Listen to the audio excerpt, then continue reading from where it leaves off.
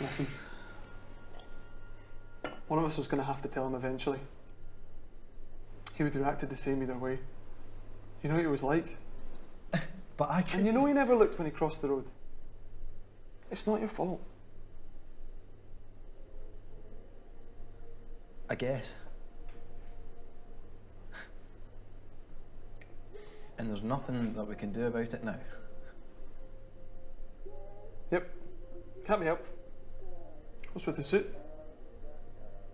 Oh, I've, I've got a job interview this afternoon. Oh, congrats. Thanks. What is all this? This is a time machine. Jacob, mate, this, this isn't a time machine. Well, technically, it's a temporal consciousness Is this what you've been spending all my money on? No, well, I had to pay for rent for this place and the generator, but I got most of the components for free. Well, aye, I can see that. Jacob, I gave you that money because because I thought you needed it.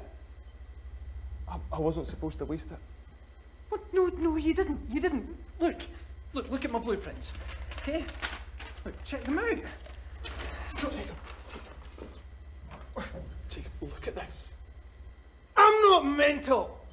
I didn't mean it like that. I just. Just look at this.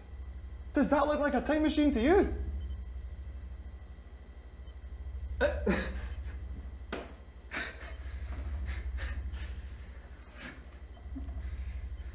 Jacob, This is as much for you as it is for me. Can you not see that? What are you, what are you talking about? I could have stopped him.